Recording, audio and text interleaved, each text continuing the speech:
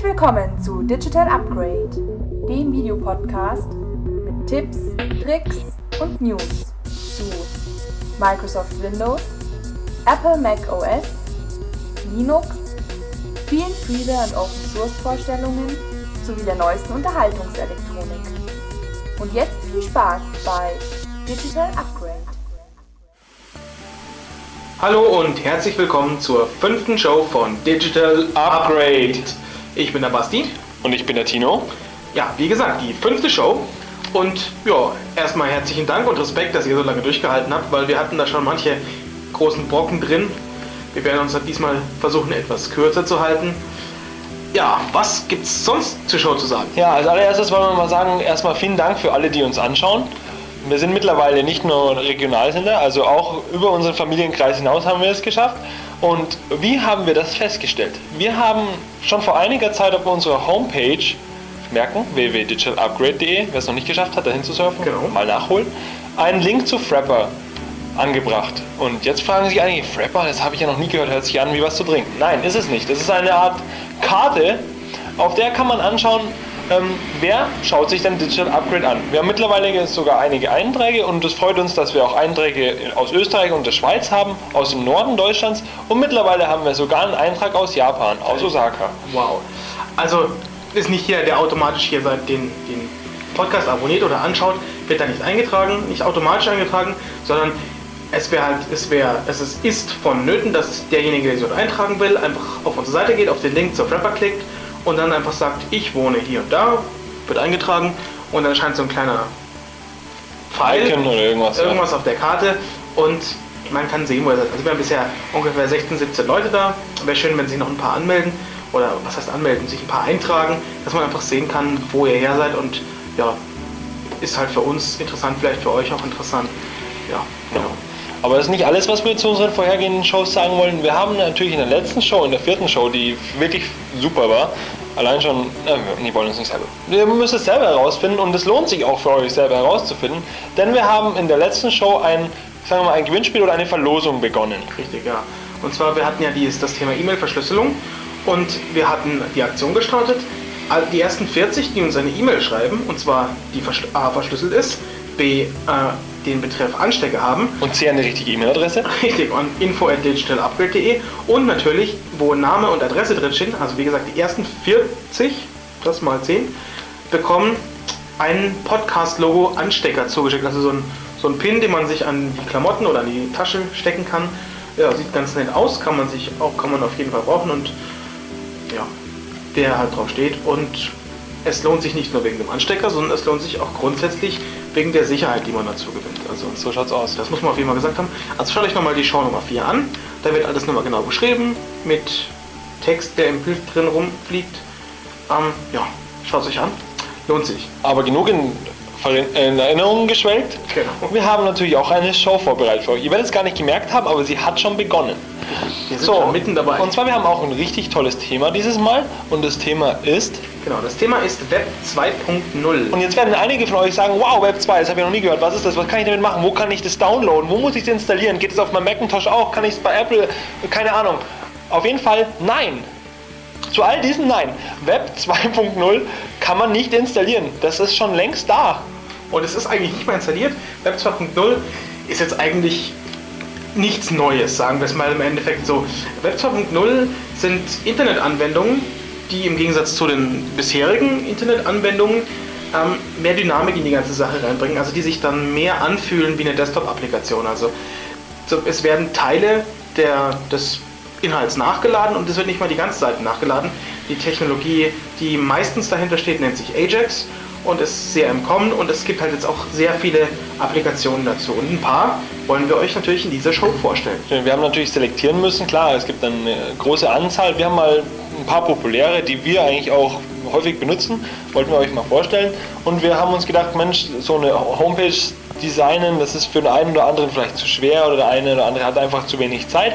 Und da hat sich Google gedacht, Mensch, wir stellen mal eine Plattform ins Netz, wo jeder seine Personal Homepage ähm, selber machen kann, und zwar Pages. Richtig. Außerdem haben wir die, ähm, sagen wir mal, Startseite oder das Portal NetVibes, in dem man sehr viele Web 2.0 Dienste und Applikationen in einem ja, auf einer Seite praktisch zusammenfassen kann. Dann haben wir uns noch überlegt, ihr habt letzte Woche schon gesehen, es gibt Kalender, die kann man mitnehmen, es gibt Kalender, die sind in Taschenform und es gibt sogar Kalender, die sind im Internet. Und das ist sehr praktisch und wir haben uns gedacht, Mensch, ein Kalender, den man überall zugreifen kann, ist doch eine tolle Sache. Vor allem ist auch eine Web 2.0 Application, kommt auch von Google, zeigen wir euch auch. Genau. Außerdem haben wir noch das Web Office Paket Rightly im Paket, mit dem ihr ja, die wichtigsten Office-Aufgaben auch direkt im Web machen könnt. Ja, und dann, um es nicht in Vergessenheit geraten zu lassen, haben wir unseren Weekly, also Another Show, Another Firefox Plugin, haben wir uns auch mal wieder was Tolles ausgesucht. Genau, lasst euch da überraschen. Ich denke, wir steigen gleich mal ein mit Google Pages. Wie bereits angekündigt, zeige ich euch heute Google Pages. Dazu gehen wir auf www.googlepages.com und wir sehen hier direkt unseren Google Account Sign-In.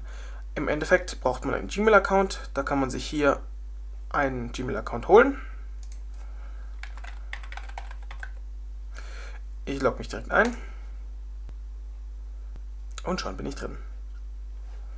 So, diese Seite, also wo immer Homepage dahinter steht, das ist die Hauptseite und die ist automatisch angelegt.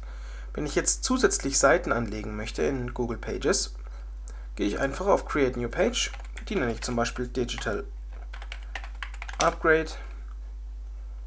Drücke Enter oder Create an Edit und die Seite wird angelegt und mir direkt angezeigt. Ich kann jetzt erstmal das Layout der Seite ändern. Wenn ich zum Beispiel sage, ich möchte sie wie die digitalupgrade.de mit dem links dem Content-Bereich, rechts einer Sidebar und oben einer Titelleiste haben, nehme ich zum Beispiel das. Ich kann auch die anderen Layouts auswählen, wie ich mir das vorstelle. So, ich klicke das an und es wird direkt übernommen. Wenn ich jetzt sage, ja, dieser blau-grüne Look gefällt mir nicht, gehe ich auf Change Look und bekomme jetzt eine große Auswahl von verschiedenen Looks angezeigt, die alle recht gut aussehen und ich kann sie mit einem einfachen Klick auf Select auch auswählen. Es wird mir direkt in den Page Manager, Page Creator reingeladen und als Überschrift können wir schon sehen, als Überschrift wird die Seite, der Name der Seite genutzt. Das möchte ich ändern. Ich möchte stattdessen dort ein Bild einfügen. Dazu gehe ich auf Image und kann dieses jetzt hochladen. Ich gehe auf Durchsuchen, wähle mir das Logo aus und das Logo wird hochgeladen. Ich sehe schon das Digital Upgrade Logo und wenn ich es hier angeklickt habe, unten sage Add Image, wird es auch direkt hinzugefügt. Man kann jetzt zwischen verschiedenen Größen wählen, Small, Medium, Large und Original Size. Bei Original Size werden etwaige PNG-Transparenzen mit übernommen. Beim Skalieren können diese nicht mit skaliert werden. Deswegen ist es sinnvoll, sich die Grafiken vorher in der Größe vorzubereiten, in der man sie einfügen möchte. So, ich kann jetzt noch einen Subheader eingeben. Das tue ich gerade mal.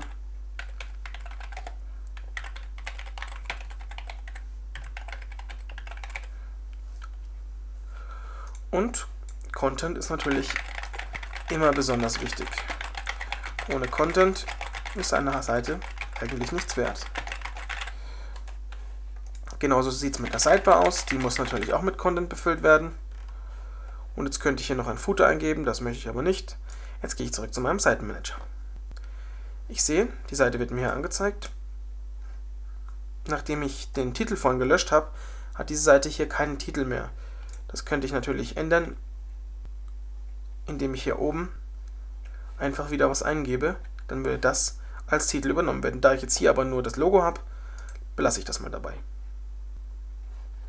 Jetzt kann ich noch eine Seite anlegen. Nehme ich mal Test 2.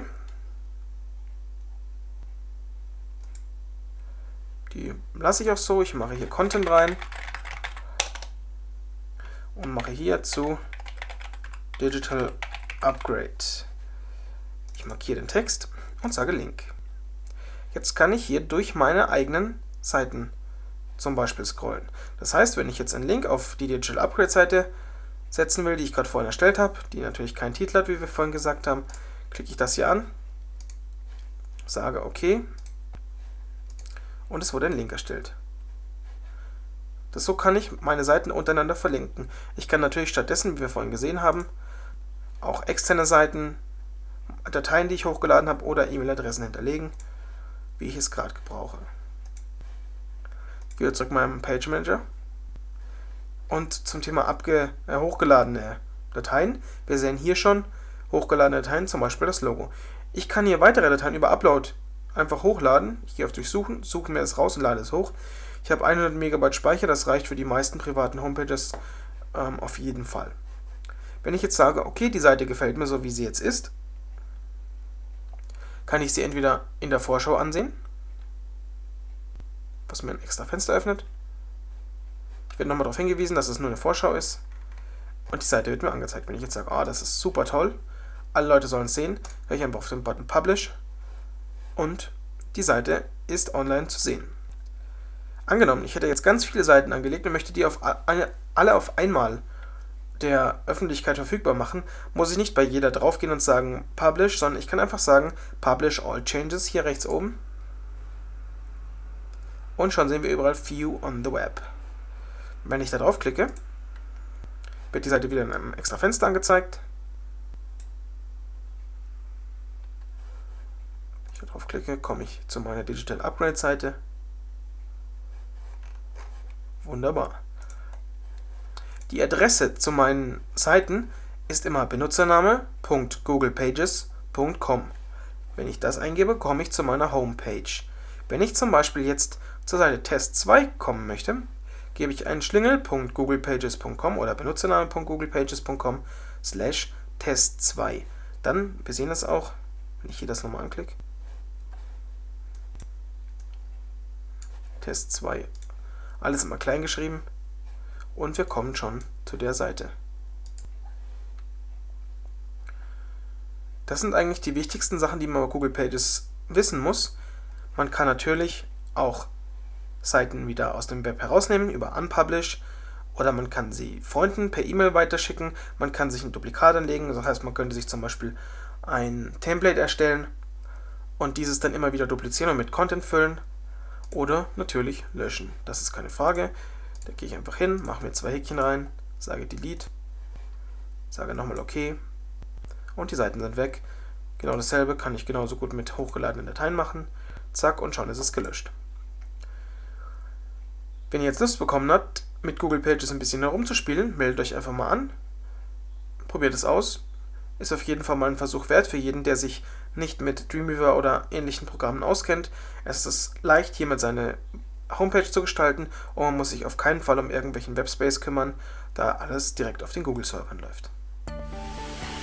So viel zum Thema Google Pages, ein Tool, mit dem man virtuelle Realitäten schaffen kann.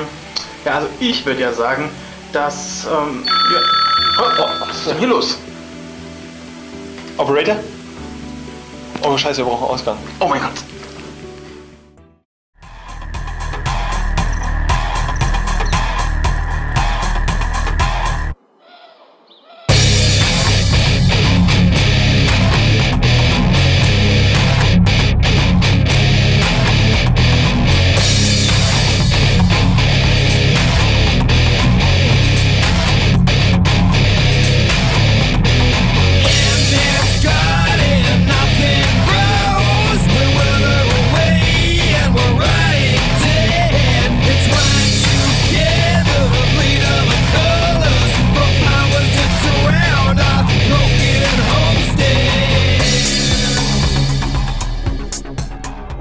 Anderson, schön Sie heute hier zu treffen. Agent Smith, Sie heute hier? Ja klar, heute Mittag, 12 Uhr, hier, Showdown. Doch nicht heute, morgen.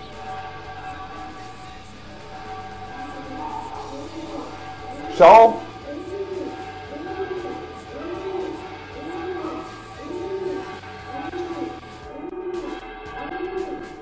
Oh, verdammt. Ein Fehler in der Matrix. Tja,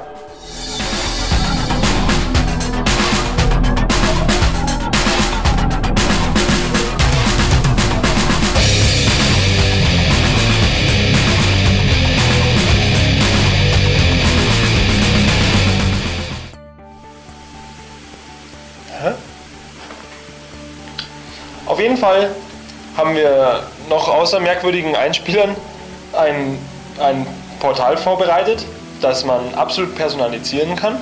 Genau, also es ist also ideal, zum Beispiel als Startseite. Man kann sich halt einrichten und man kann sich eigene Dienste und eigene Leistungen wie RSS-Feeds oder sonstiges hinzufügen und bietet einem halt sehr viele Möglichkeiten direkt von direkt vom, vom Browser-Start weg im Endeffekt und man kann es halt von überall einsehen und deswegen würde ich sagen, gehen wir gleich über zu netvibes.com. Nun werde ich euch NetVibes zeigen, auch eine Web 2.0 Anwendung, ähm, die man hervorragend personalisieren kann und eine super Startseite, wie ich finde, ähm, darstellt. Ich gebe dazu die URL natürlich ein. Wir befinden uns wieder in irgendeinem Browser, völlig unrelevant. netvibes.com und wie wir sehen, hat sich das hier ist, kann man sich schon einen ersten Eindruck von NetVibes ähm, erhaschen. Wenn man das hier sieht, das sind alles so kleine Fensterchen. Man kann Bilder anschauen, man kann hier draufklicken, man kann diese Fenster berühren, man sieht, man kann was editieren und so weiter und so weiter. Aber was genau, wie auch hier, geben sie hier einen Titel ein, dass man kann mehrere Seiten darstellen, man weiß aber noch nicht, was man damit machen soll. So, wir müssen uns natürlich erstmal ähm, einloggen unter irgendeinem Account. Gut, wir wissen ja noch nicht, ähm, wie geht das. Ich gehe hier neuen User anlegen, jetzt registrieren, da gebt ihr eure E-Mail-Adresse und euer Passwort ein. Das war's. Ich habe natürlich schon einen Account angelegt. Und wenn ich hier auf Einloggen gehe, gebe ich hier meine E-Mail-Adresse ein, tino at digitalupgrade.de und mein Passwort. Und ruckzuck bin ich auf meiner personalisierten Seite. Ihr seht, die ist jetzt, ähm, sieht genauso aus wie die Seite davor, nur das ist meine personalisierte Seite. Ich kann jetzt hier meinen Titel eingeben, zum Beispiel Tinos Startseite und das wird dann auch so bleiben. Also diese Einstellungen, die ich hier einstelle, die bleiben einfach. Ich kann hier Websuche, ich kann das jetzt einfach, ich mache, ich räume jetzt einfach mal auf. Ich mag das alles nicht sehen. Ich mache alles weg und dann zeige ich euch, wie mache ich diese Fenster hier wieder rein. Also das interessiert mich alles nicht. Webnotiz völlig uninteressant. Bilder will ich auch nicht. So, wie ihr seht, geht das alles ruckzuck weg. Das ist jetzt wie wenn ist so ein Grundgerüst. Man nimmt Steinchen für Steinchen und baut das da rein. Ich kann hier auf Inhalt hinzufügen gehen. Und ich finde es immer ganz schön, wenn man irgendwie so Suchmaschinen gleich auf seiner Startseite hat. Ich hatte lange Zeit den Google-Suche äh, auf meiner Startseite und deswegen gehe ich hier auf Websuche und sage hier zu meiner Seite hinzufügen. Er legt es automatisch in die Mitte. Ich sage, okay, ähm, das gefällt mir jetzt nicht so, ich möchte es lieber hier haben, dann schiebe ich es einfach rüber und zack, bleibt es da. Ich finde es aber immer ganz schön in der Mitte. Jetzt kann ich noch mehrere Inhalte hinzufügen. Was sage ich hier? Es gibt ähm, RSS-Feeds kann ich hinzufügen. Ich kann eigene Feeds machen. Da muss ich natürlich vorher einstellen, indem ich einen Feed hinzufüge. Ähm, ich sage, Heise Online ist immer interessant. Ja, zu meiner Seite hinzufügen. Dann möchte ich das Wetter haben. Nicht Paris-Frankreich, finde ich doof. Ich bin ja, komme ja aus München. Da gebe ich hier ein Munich und Temperatur in Celsius und die lokale Uhrzeit hätte ich auch gerne angezeigt. So, jetzt sehen wir hier, ich kann auswählen, Munich, Germany, wunderbar, und auch zu meiner Seite hinzufügen. Da schmeißt jetzt einfach alles so rein. Was mag ich noch haben? Ich möchte hier noch meine, meine Bookmarks, oder wie wir vorhin gesehen haben, ähm, naja, meine Aufgabenliste, was muss ich noch machen, editieren, mach, kann ich alles nachher machen. So, ich habe jetzt einfach mal so ein paar Sachen da reingeschmissen und ihr seht ja, ähm, das geht ganz toll. Also man drückt einfach drauf und das funktioniert. Es wird auch laufend mehr. Man kann auch hier ein Screen Panel, alles mögliche. Ich finde immer ganz schön, viele RSS-Feeds auf der Seite zu haben. Aber das könnt ihr selber entscheiden. Deswegen ja auch personalisieren. So, ich mache das jetzt hier wieder zu und jetzt verteile ich das einfach. Ich sage, die Aufgaben möchte ich hier, dann möchte ich meine, wie das Wetter ist und dann möchte ich hier das Fensterchen da haben. Jetzt habt ihr auch, das ist ja klein geworden. Wie ist das klein geworden? Also man kann diese Fenster auch zumachen. Dann um zum Beispiel mehr, wie man hier sieht, alle einklappen, alle ausklappen. Man kann hier viele, viele, viele Fenster hin machen und kann sich dann halt den Content jederzeit anzeigen lassen, was einen halt interessiert. Aber hier bei Websuche Google, Yahoo, icerocket oder Wikipedia. Also das ist das eigentlich eine recht weit verbreitete Seite. Ähm, wir selber und Digital Upgrade, wir zwei benutzen das sie auch. Wir haben da halt unsere Feeds. Ich kann euch ja mal kurz zeigen, wie meine Seite ausschaut. Vielleicht ist das für euch interessant. Ich logge mich nochmal aus. und logge mich unter einem anderen User ein.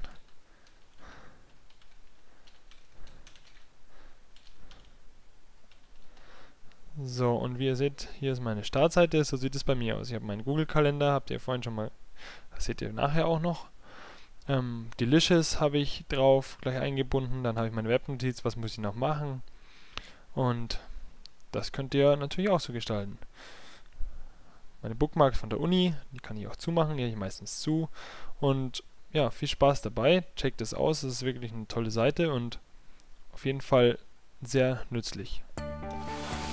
Gut, nachdem wir jetzt NetVibes ausführlich angeschaut haben und die eine oder andere auch interessante RSS-Feeds oder irgendwelche Applications in sein Desktop-Fenster geaddet hat, ähm, machen wir jetzt gleich einen kleinen Umbruch und wir schauen uns mal die Neuigkeiten an. Vielleicht hat der eine oder andere auch heiße schon in seinen NetVibes eingebunden, der kann es ja nachlesen. Genau, also ab in die News.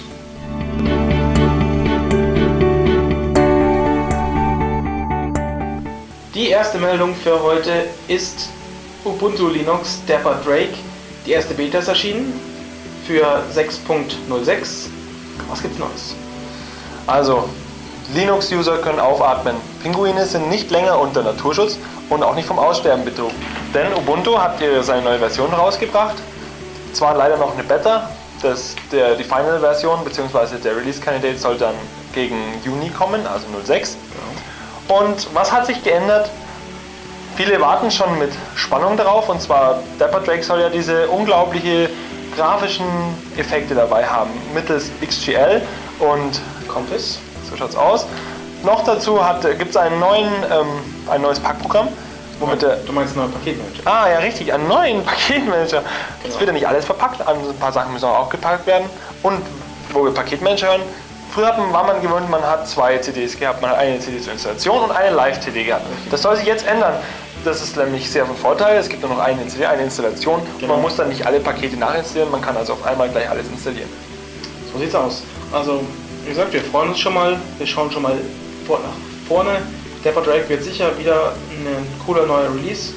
Also, wir freuen uns auf Juni. Und sobald er da ist, könnt ihr natürlich auch in unserer Show sehen. Genau, ihr erfahrt sofort bei uns und wir stellen die neuen Features natürlich vor.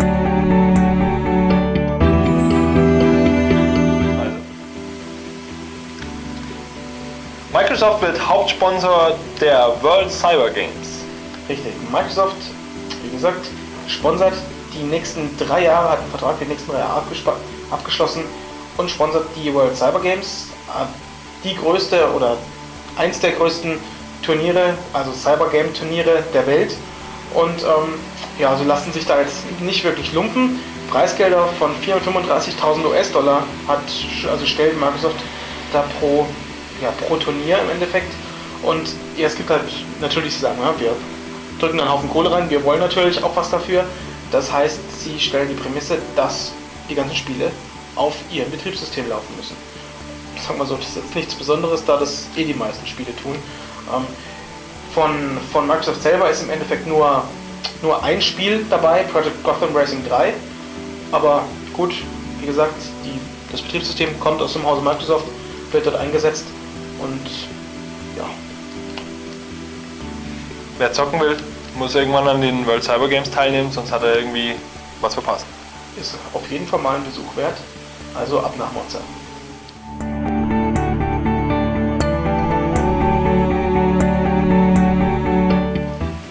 Na, schon gezahlt? Hä? Ja, die GEZ PC-Gebühr kommt ab dem 1. Januar 2007, zumindest ist sie in Planung. Und die GEZ möchte sowie auf Fernsehgeräte und Radiogeräte auch pro Monat 17 Euro ungefähr pro internetfähigen PC äh, Einheimsen. Richtig. Geschenkt bekommen. Ja. Ähm, ja, wir sind auf jeden Fall der Meinung, das ist nicht okay. Ähm, ja, es ist halt so, ich meine, für den Fernseher und für den Radio, fürs Radio kann man es vielleicht einzeln. Ich meine, die sind nur dafür da, damit fernschauen zu können. Und es ist vor allem auch so, es werden ja wirklich Sender angeboten, wo da richtig Geld kostet, auch Sendungen zu produzieren oder Ra Hörfunk, ganz egal. Das kostet den, den Leuten wirklich Geld, dass wir da unseren Spaß haben. Gut, ähm, es trifft jetzt nicht ganz meinen Geschmack, aber so ein oder andere findet ZDF und ARD auch ganz toll und dann schaut sich halt an. Ist auch in Ordnung. Genau. Ähm, also die GEZ argumentiert halt so, ähm, es ist ja möglich, mit einem internetfähigen PC zum Beispiel auf ard.de zu gehen, sich im Sendungsarchiv irgend was weiß ich was anzugucken und ja, somit sich praktisch an den Gebühren vorbeizudrücken. Ähm, deswegen sagen sie ja, also Gebühren müssen auf jeden Fall her. Ähm, wer jetzt aber mal auf ard.de oder zdf.de war und sich mal durch die Sendungsarchive geklickt hat, also zum einen, ich habe da noch nie irgendwie gefunden, dass ich da wirklich live mitschauen kann. Also Ja. und wenn ich mir jetzt die großen Sendungen anschaue, also die wirklichen Publikumsmagneten, wie zum Beispiel, sagen wir mal, Wetten das im, im ZDF, finde ich im Archiv ehrlich gesagt auch nicht. Also deswegen kann ich jetzt nicht ganz nachvollziehen, wieso ich, vor, auch jetzt vor allem als, als Geschäftsmann, wieso ich für jeden PC 17 Euro berappen soll. Also wenn man sich das mal hochrechnet, das sind im Jahr 240 Euro oder ein bisschen mehr sogar, da kann ich eine ganze Zeit lang von leben. Und Zumal wir ja noch nicht mal nur von Privat-PCs reden. Wir reden ja von PCs in Firmen. Man stellt sich jetzt einfach mal ein größeres Unternehmen vor, wo 20 PCs stehen, das mal, wenn man die Summe mal hochsummiert, was man dann, was man da an Geld berappen muss, jeden Monat, nur dafür, dass die PCs eigentlich nur dastehen. Und da müssen wir sagen, okay, das passt nicht. ja, Und also es gibt natürlich Fall- auch Menschen, die denken so wie wir und die finden es auch nicht cool. Ja, vor allem, ich benutze meinen PC zum Arbeiten, ich benutze meinen PC, um zum Beispiel unsere Show zu schneiden. Ich benutze meinen PC, um im Internet zu surfen, aber ich benutze meinen PC sicher nicht, um auf ard.de oder zdf.de mir irgendwelche bescheuerten Clips runterzuladen, weil dazu ist mir auch einfach meine, meine Zeit zu schade und ich habe halt am PC einfach die Möglichkeit zu wählen und ich finde, das sollte man auch so belassen und ähm, wie gesagt, man sollte das nicht einfach an sich vorbeistreifen lassen. Aus diesem Grunde wurde da eine Initiative gegründet oder eine Vereinigung, die Vereinigung der Gebührenzahler, Rundfunkgebührenzahler heißt es, glaube ich. Und ähm, eine Informationsseite zur PC-Gebühr gibt es natürlich auch, Natürlich. www.pc-gebühr.de mit UE. Und da findet ihr auch einen Link zu dieser Organisation. Ihr findet, was ihr machen könnt, an wen ihr euch wenden könnt. Und weil ich finde, das sollten wir nicht mit uns machen lassen, dass wir jetzt auch noch für, für so einen Scheiß Geld bezahlen.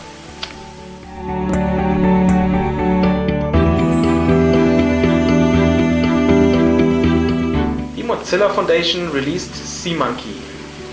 Ja, der eine oder andere hat es vielleicht mitbekommen. Mozilla hat den SeaMonkey released. Einige kennen auch den Vorgänger des SeaMonkeys und zwar die Mozilla Suite.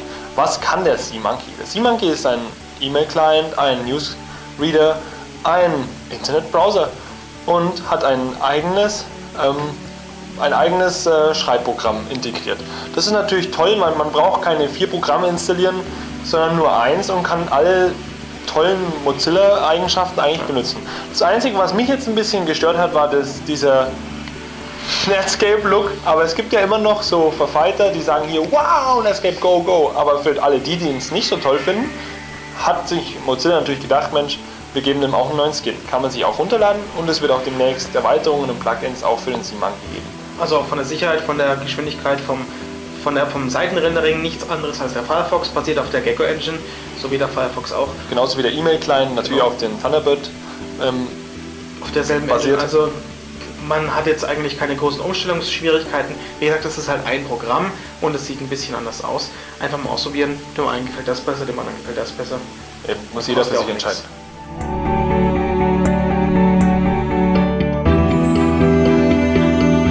Die letzte News für heute. Google hat den Kalender released. Richtig, in der, sagen wir Messaging Suite von Google hat Google den sogenannten Kalender auch noch rausgebracht.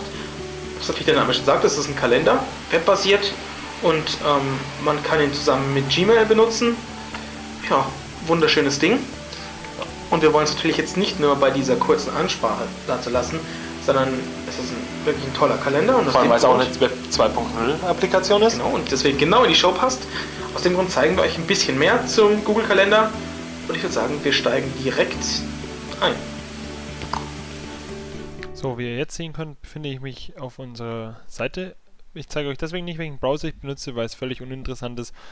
Den Google-Kalender sowie alle Web 2.0 Anwendungen könnt ihr von jedem x-beliebigen Browser benutzen, solange ActiveX unterstützt. Ich gehe jetzt auf die Google Kalender-Seite und zwar unter der URL calendar.google.com Und ich bin am Login-Fenster und ich kann mich dann unter meinem Login einwählen mit meinem Passwort. Und ruckzuck sehen wir jetzt, wow, sieht aus, sieht ein bisschen aus wie der Thunderbird, finde ich, wie der Lightning. Aber was der Google-Kalender stark von dem Lightning unterstützt, man kann ihn halt eben überall im Netz, egal wo man ist, von jedem Rechner her abrufen. Gut, ähm, was, wofür benutze ich einen Kalender? Natürlich, um Einträge einzutragen. Man sieht hier, ich habe hier einen Kalender schon mal, Tino Tetzel, das ist jetzt mein privater Kalender. Und ich lege jetzt einfach mal irgendwo, egal wo ich möchte, einen Termin ein. Heute haben wir Mittwoch. Ich lege hier mal den Termin an um 1, 1 Uhr morgens.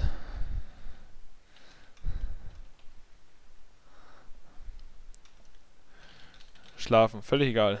Schlafen und ja, da es natürlich eine völlig idiotische Zeit ist, gehe ich mal eine Zeit, die ein bisschen realistischer ist. Und zwar, sagen wir mal, 12 Uhr Dinner mit Basti. So, jetzt weiß ich Bescheid hier, 12 Uhr liegt automatisch und etwas anderes eine Stunde lang dauert. Ich kann das jetzt per Drag and Drop ganz normal, kann ich zum Beispiel länger machen. Ich kann aber natürlich auch einfach jetzt, wenn ich sage, oh, das war ja gar nicht am Mittwoch, das war am Donnerstag, kann ich es nehmen und einfach rüberschieben. Wie bei einer Desktop-Anwendung. Ich kann natürlich auch auf dieses Fenster klicken und Edit Event Details machen. Jetzt sehe ich hier, wow, ich kann hier noch viel mehr Sachen einstellen. Wenn ich sage, okay, das passiert an dem Tag um diese Uhrzeit, kann ich alles nochmal frei wählen, was ich da einstellen möchte. Ich kann auch sagen, es passiert, das ist ein Termin, der wiederholt sich einfach jetzt erstmal immer montags von freitags und beendet. Das letzte Mal kommt es vor, keine Ahnung, also nächste Woche von mir aus. So, ich kann natürlich auch eine Location adden.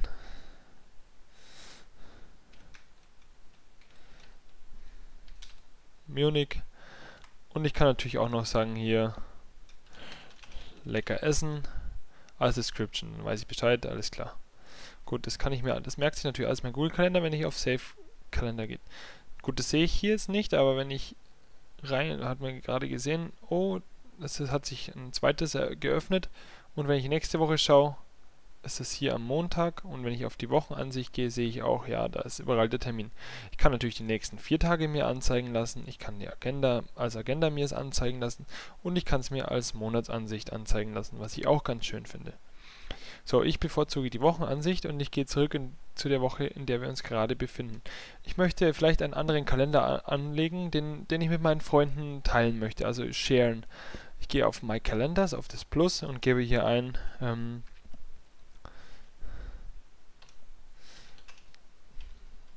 Freizeitplanung. Dann kann ich hier noch eine Description eingeben, das lasse ich aber jetzt alles einfach mal weg. Ich erzeuge den Kalender und wie wir jetzt sehen, haben wir, haben wir hier eine andere Farbe. Die Farbe kann ich natürlich auch auswählen. Ich finde grün ist ganz schön für, für Freizeit, super Sache.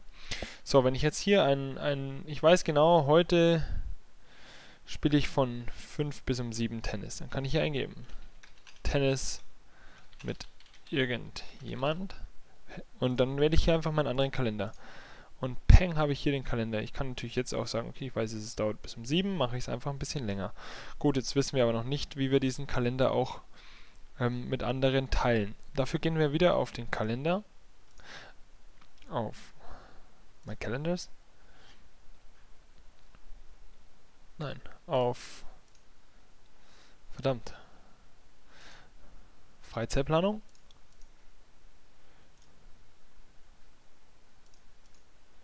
Ah, Manage Calendars, natürlich. Auf Manage Calendars gehen wir. Das war jetzt etwas verplant, aber nicht so schlimm. So, dann kann ich hier auf Share this Calendar gehen und dann kann ich sagen, diesen Kalender möchte ich mit nur mit Free nur nur Free Busy Informations oder ich kann alle die gesamten Informationen sharen. Und wenn ich sage, ja, das möchte ich jetzt machen, dann kann ich hier einfach auf Yes klicken. Gut, ich sage immer, das ist mein Kalender, das interessiert niemanden, deswegen lösche ich das mal wieder. Aber die Möglichkeit bestünde. So, wie wir jetzt gesehen haben, kann man auch wieder ganz einfach auf den Kalender zurückkommen. Man kann hier alles einteilen und man kann natürlich auch schön viele verschiedene Kalender. Man kann zum Beispiel auch für eine Familie verschieden, verschiedene Mitglieder kann man den Kalender auch ähm, mehrere Planungen eingeben. Zum Beispiel hier ist nicht mein Name, sondern der Name meiner Freundin oder von irgendjemandem ist. Aber jetzt kommen wir zu dem Allertollsten. Man kann den Kalender nicht nur ähm, mit in dem Google-Kalender sich anzeigen lassen, man kann ihn nämlich auch äh, per, per Einstellungen kann man den Kalender auch in iCal zum Beispiel oder in irgendwelche anderen Web 2.0 ähm, Kalender ähm, einfügen. Wenn ich hier auf, auf wie wir hier sehen, iCal, habe ich den Kalender und das ist meine private Adresse, die ist nur für mich. Jetzt kann ich hier Linkadresse kopieren machen. Und wenn ich jetzt auf, wie, wir, wie ihr vorhin schon gesehen habt, www.netvibes.com gehe, sehe ich, das ist, noch, das ist schon meine personalisierte, das ist noch nicht meine personalisierte Seite. Ich kann mich aber einloggen, gebe hier meine E-Mail-Adresse ein, gebe mein Passwort ein und wie wir sehen werden, bin ich jetzt auf meiner personalisierten Seite. Und wenn ich hier oben schon sehe, habe ich hier meinen Google-Kalender. Hier sind meine, meine ganzen Daten. Dann kann ich einfach auf Editieren gehen und kann hier diese iCal-URL eingeben. Und dann habe ich ruckzuck auf einen Blick die Sachen drin. Also ich finde, das ist eine super Sache und der Google-Kalender ist auf jeden Fall eine spaßige Sache. Viel Spaß beim Auschecken und vielleicht schreibt ihr mir mal eine Mail, wie euch der Google-Kalender gefallen hat. tino at digitalupgrade.de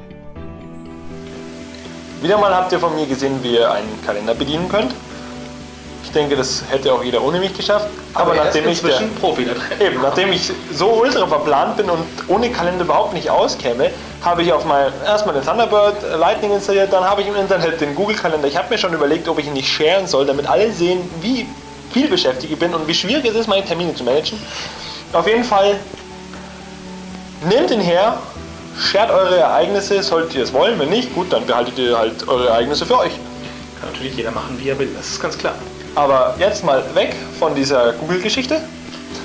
Naja, sagen wir mal so, semi-Google ist es natürlich immer noch. Ja. Da Google vor kurzem Brightly erst gekauft hat, können wir jetzt natürlich auch nichts dafür, dass das Ganze dann somit noch Google-lastiger wird.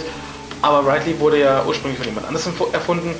Und ähm, ja, Rightly ist, wie wir schon im Einstieg gesagt haben, eine Office Suite, sagen wir es so, Office Suite Lite, das direkt im Browser läuft und hat halt natürlich den großen Vorteil, ich bin irgendwo bei einem Freund, ich bin irgendwo im Internetcafé oder irgendwas, ich kann trotzdem einen Brief schreiben, ich kann trotzdem Notizen aufnehmen, ich kann das benutzen, so wie ich es zu Hause benutzen will. Sobald ich wieder daheim bin, kann ich mich wieder einloggen und das Ganze hernehmen. Ich kann meine ganzen Dokumente mit Freunden sharen und ja, von daher ist Rightly einfach super. Und deswegen schauen wir es uns jetzt mal genauer an. Tat. Und da sind wir auch schon im Browser. Und los geht's zu Rightly. Finden wir unter www.rightly.com. Und wir müssen uns erstmal anmelden. Wenn wir, noch nicht an, wenn wir noch keinen Benutzernamen haben, könnten wir uns hier direkt einen Benutzernamen besorgen. Das ist kostenlos und es geht auch schon los. Ich logge mich ein und ich bin drin. Noch sehe ich hier nichts. Wenn ich auf All Documents klicke, sehe ich auch nichts, da ich noch keine Dokumente angelegt habe. Ich kann, wenn ich möchte, hier direkt ein Dokument anlegen, indem ich oben auf New klicke.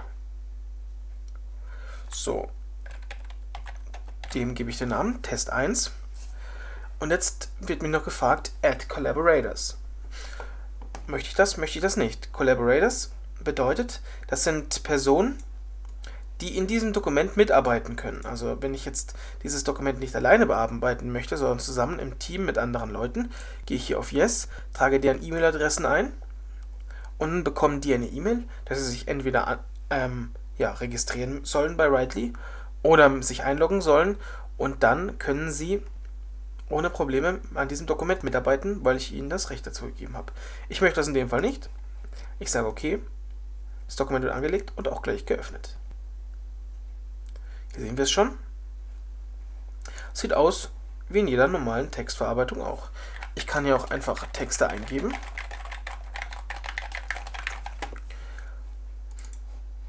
Ich kann die Texte andersfarbig machen. kann sie fett und unterstrichen machen. Ja, ich könnte Aufzählungen damit erstellen, wie ich es aus Word oder OpenOffice gewöhnt bin. Außerdem lässt sich natürlich auch die Schriftart ändern und der Stil. Sonst bietet Writely auch einige Funktionen, um zum Beispiel Bilder einzufügen, Links zu setzen oder Tabellen zu erzeugen. Ich könnte das Ganze jetzt speichern oder mir als Datei exportieren. Zum Beispiel könnte ich mir eine Word-Datei erzeugen, die ich dann auch lokal im normalen Word öffnen könnte. Oder, was ein besonderer Clou ist, ich kann dieses Dokument als RSS-Feed ähm, ja, öffnen und das in einem RSS-Reader abonnieren und wenn irgendwas geändert wird von mir oder von anderen, sehe ich das sofort im RSS-Reader. So, ich bin hier fertig, sage dann und das Dokument wird gespeichert. So, es gibt außerdem die Möglichkeit, Uploads zu machen. Das heißt, ich suche mir eine Datei raus, die ich, da, die ich schon erstellt habe, zum Beispiel in OpenOffice, wie hier, und sage, die heißt jetzt Test 2. Gehe auf Upload, die Datei wird hochgeladen und ich sehe hier Test 2, wird auch gleich geöffnet und ich sehe schon, die, ähm, die Formatierung ist exakt identisch wie vorher in OpenOffice. Also ich brauche mir keine Gedanken machen, dass meine Formatierung flöten geht. Nein, selbst das Bild ist an derselben Stelle und das Bild ist auch eingebettet. Das heißt, ich könnte mir jetzt zu Hause meine ganzen Dokumente, die ich gemacht habe, hochladen und das Ganze auch unterwegs, zum Beispiel im Internetcafé oder in der Arbeit, bearbeiten, ohne jedes Mal ein extra Programm starten zu müssen oder mir Gedanken machen zu müssen. Ich habe hier was da auf dem Mac zum Beispiel erstellt, funktioniert das nachher auf meinem Windows-Rechner auch, weil, wie ich hier sehen kann, in Writely funktioniert es. So, ich bin damit fertig, ich sage dann und jetzt sage ich, dieser Artikel ist so toll, ich möchte ihn zwar nicht öffnen, was ich aus Versehen gemacht habe, sondern ich möchte zum Beispiel diesen auch mit anderen Leuten wieder teilen. Dazu könnte ich auch auf Collaborate gehen und wieder E-Mail-Adressen eintragen und ja, die Kollegen, die ich eingetragen habe, würden das dann per E-Mail auch bekommen. Ich kann den Text auch publishen, also veröffentlichen. Das heißt, ich gehe auf Publish und habe jetzt die Möglichkeit, über eine bestimmte, einen bestimmten Link diese, die Seite wie ein, ja, wie eine, wie ein HTML-Dokument anzusehen oder auch von anderen einsehen, einsehbar zu machen. Ich gehe hier auf Publish Document, Let Anyone See It. Ich kann natürlich auch wieder bestimmte Personen nur ähm, auswählen, die das, die das ähm, Dokument ansehen können. Der Unterschied zum, zum Collab zur Collaboration ist, dass hier die, äh, die Leute, die das Dokument ansehen, es wirklich nur ansehen können. Ich möchte, dass jeder es sehen kann. Ich meine, das ist ein toller Artikel. Ich sage OK. Und unter dieser URL, die oben eingeblendet wird, ist das Dokument ab sofort zu finden. Könnte ich jetzt per E-Mail verschicken und jeder könnte sich ansehen. So, es gibt allerdings noch ein paar weitere Möglichkeiten. Ich könnte einen Blog daraus machen. Ich könnte dieses jetzt in meine Blogseite einfügen. Rightly bietet mir da eine Möglichkeit, bei Blogspot meinen eigenen Blog zu veröffentlichen und diesen mit Rightly zu bearbeiten ist. Gerade für, für Blogger, die sich keine eigene Blogsoftware installieren wollen und die vielleicht mit Blogger oder ähnlichem nicht ähm, zufrieden sind, eine sehr angenehme und sehr mächtige Möglichkeit, ja, Ihren Blog zu bearbeiten. So, ich sage jetzt hier Post to Blog. Könnt ihr jetzt hier meinen Blog-Hoster aussuchen, zum Beispiel blogger.com. Gebt dann meinen Usernamen ein und das Ganze würde hochgeladen. Alternativ kann ich es auch auf meinen eigenen Webserver laden. Wenn ich da einen Blogger oder Meta-Backblog oder Movable Type am Laufen habe, dann könnte ich das hier auch nutzen. Ich möchte das allerdings nicht machen, schließe das deswegen wieder. Wenn ich jetzt sage, okay, dieses, dieser Artikel ist ganz toll, könnte ich ihn starren, also mit einem Sternchen versehen. Das heißt, ich sehe hier schon, das Sternchen ist gelb im Gegensatz zu so blass. Das heißt, wenn ich jetzt hier auf Start Documents gehe, wird mir dieser Test 2 angezeigt. Außerdem kann ich meinen Dokumenten auch Tags verpassen. Ich sage Tag, sage New Tag und jetzt schreibe ich zum Beispiel Klickbetrüger rein. Und jetzt finde ich unter Tag Documents, Klickbetrüger, das Ganze. Ich kann mehrere Tags in ein, in ein Dokument einfügen und habe dann im Endeffekt somit eine Art Kategorienansicht und der Vorteil ist, ein Dokument kann in mehreren Kategorien gleichzeitig sein. Das heißt, man muss nicht irgendwelche, sagen wir mal, Ordnerstrukturen pflegen, sondern man taggt sich das Ganze und findet es nachher auf jeden Fall ganz easy wieder. Eine weitere coole Funktion ist E-Mail in. Ich bekomme von Rightly eine E-Mail-Adresse, diese sehr merkwürdige E-Mail-Adresse und über diese, wenn ich, mir, wenn ich an diese E-Mail-Adresse eine Datei schicke, finde ich die nachher in meinem Rightly. Ja, das war es eigentlich schon, was man zu Rightly wissen sollte. Ich würde euch empfehlen, probiert es mal aus. Es lohnt sich auf jeden Fall. Einfach www.rightly.com, loggt euch mal ein und schaut mal, was ihr damit alles machen könnt. Es ist auf jeden Fall dafür, dass es umsonst ist, sehr mächtig und bietet einem überall, wo man ist, die nötigsten Office-Funktionen, die man so braucht. Soviel zum Thema Office Suite im Web. Rightly, probiert's aus. Lohnt sich auf jeden Fall. Ähm, ja, wir haben euch ja versprochen, wir machen Another Show, Another Firefox Plugin. So ist es. Und was haben wir heute vorbereitet? Ja, diesmal haben wir für euch vorbereitet FlashGod. Und wer es nicht kennt, FlashGod ist recht weit oben in der Extension List. Und es ist ein, ein tolles Tool, da es verschiedene Download Manager in den Firefox perfekt integriert. Funktioniert nicht nur auf Windows oder auf nur einer Plattform, es funktioniert auf Windows, macOS und Linux. Man kann sich die verschiedenen Download Manager, die vorhanden sind, einklinken praktisch in sein System und ja, man kann somit große Dateien einfach herunterladen. Probiert es mal aus, wir zeigen es euch gleich mal und ich würde sagen, los geht's. Besonders User des Internet Explorer werden die nahtlose Integrierung von externen Download-Managern in den Browser bei Firefox anfangs schmerzlich vermissen. Aber auch alle anderen werden feststellen, dass es von Haus aus nicht besonders angenehm ist, Download Manager mit dem Firefox zusammen zu benutzen. Das hat sich auch ein Entwickler gedacht und hat eine Erweiterung dafür, für den Firefox geschrieben, die sich FlashGod nennt. Die können wir direkt mal herunterladen und dann zeige ich euch auch direkt, wie das funktioniert. Tolle Sache. Gehen auf die Add-ons-Seite von Mozilla und wenn diese geladen ist, was ab und zu etwas dauert,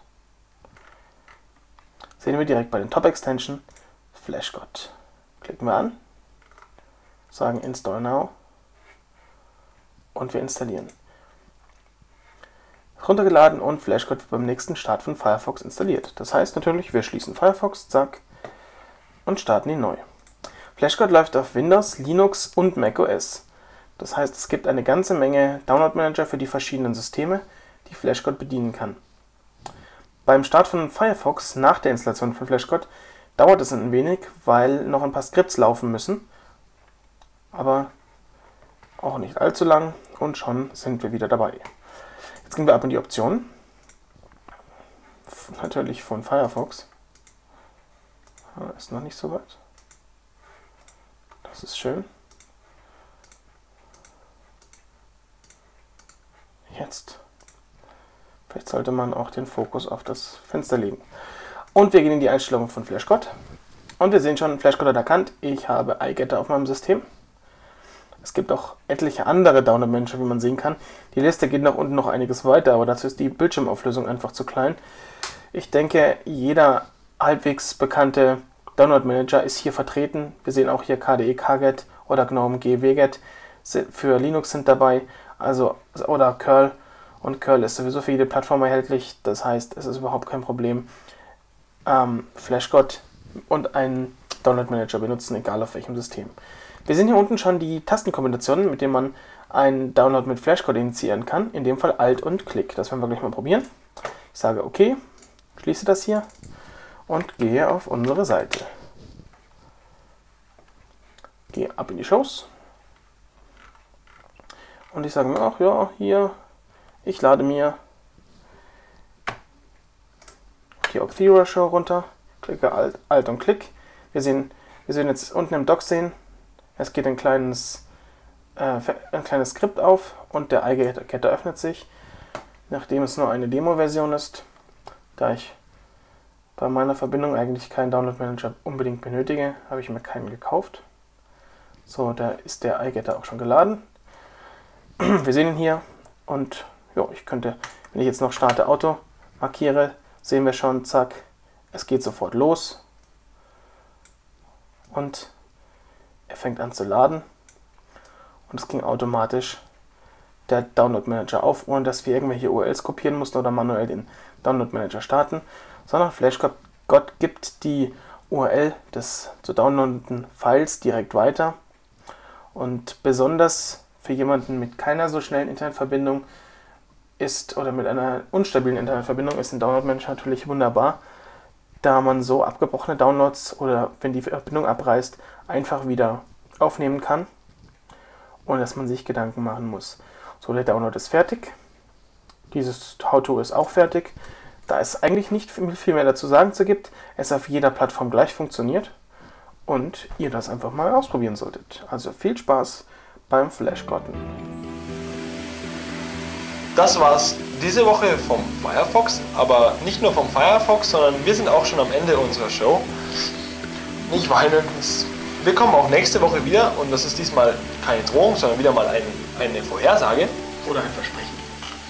Auf jeden Fall wollten wir, bevor wir uns ganz abdanken oder ehe der Vollmond aufgeht, uns wieder ins Nerds verwandeln, wollte ich noch sagen, ähm, geht auf unsere Homepage www.digitalupgrade.de Genau, dort haben wir auf der rechten Spalte eine Umfrage eingerichtet, weil wir gerne wissen würden, woher ihr uns gefunden habt, also wie ihr uns gefunden habt. Es gibt verschiedene Antworten.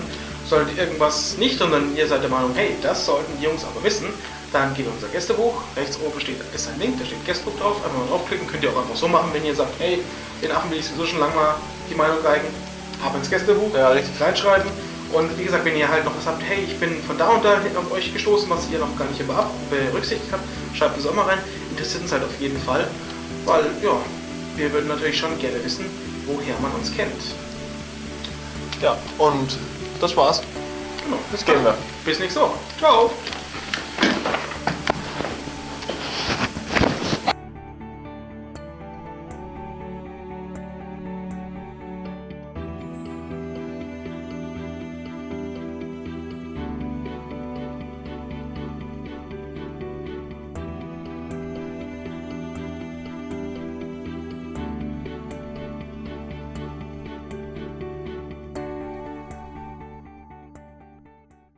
Sogar in Japan. Genau, wir haben einen Zuschauer sogar in Japan. Also wir haben wirklich Zuschauer aus der ganzen Welt inzwischen. Das macht uns natürlich schon irgendwie froh, ähm, dass wir jetzt nicht nur wirklich hier so ein regionaler Batzen sind. Also wäre toll, wenn alle... Sonst hätten wir ja gleich bei TV München ausstrahlen können. Hm? Was? Zensur. Auf jeden Fall haben wir uns für diese Show.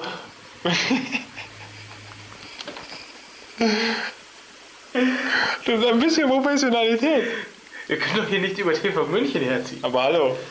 Also wenn ich über den Fernseher hinterherziehen darf, dann auf jeden Fall TV Wir München. wenden neuen Live, hallo, bitte. 9 Live ist aber kein regionaler Sender, Mensch, der wird überregional ausgestrahlt. Ja, aber der ist unterdurchschnittlich. Ja, aber ich kenne den, der die. Okay, wir fangen nochmal an. Ach, scheiße nochmal. Nicht lachen, das wäre so super gewesen. Ich hätte die einfach konnte wenn nicht. gefangen hätte. Ich konnte auch nicht. Und Ja. Ah, erstmal Respekt und vielen Dank, dass ihr schon so lange durchgehalten habt. Ja, und ich bin der Tino. Echt? Langsam muss es doch sitzen. Vor allem dann einfach so. Ja, und ich bin der Tino. Und wir grüßen euch recht herzlich. Die, Ich bin der Tino. wie gesagt, die fünfte Show. Und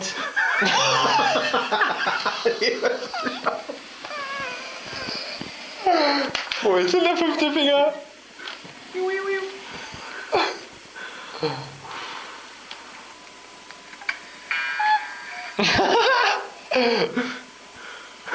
wow. Hallo?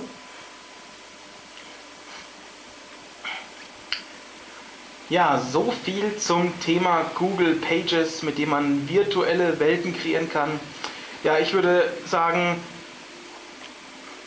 es geht. es geht nicht. Okay. So viel zum Thema Office Suite im Netz, also Rightly. Und wir haben euch ja schon versprochen und wir haben das ja auch von Anfang an gesagt, wir haben unsere unsere Lachgasattacke direkt unter Tinos Seite herausgefahren. Das ist richtig cool. Geul. Geul. Und dann, ja, schon wieder auf. Cool. Das war es für diese Woche von Firefox. Aber nicht nur von Firefox war es, es- wir sind auch schon am Ende. Leider, nicht weinen, ist nicht so schlimm. Aber wir drohen euch nicht. Wir versprechen es euch, wir kommen auch nächste Woche wieder mit einem neuen Thema, das wir für euch aufbereitet haben. Aber wir, bevor wir uns ganz verabschieden oder beziehungsweise bevor wir in der Verdank in, im Boden verdanken, Verdampfen.